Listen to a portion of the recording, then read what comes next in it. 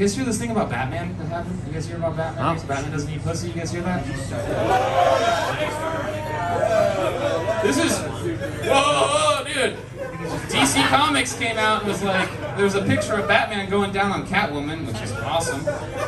And then DC Comics put out this thing that's like, heroes don't do that. And I mean, I don't know. I'm kind of torn. Like, you think like, does Bruce Wayne go down? Know, uh, he's got the. He's like a rich guy. He's Batman. I mean, maybe he does. Maybe he doesn't. It got me thinking though, because you know the latest person to play Batman was Ben Affleck, and he recently got back together with Jennifer Lopez. And I wonder if DC called him. I was like, "Hey Ben, I saw that you got back together with J Lo. I saw that Bennifer is back, and we said that heroes don't do that.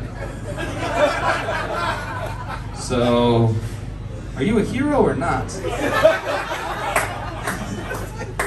And also, if you think about it, when we were all kids, we played that game Would You Rather. You know?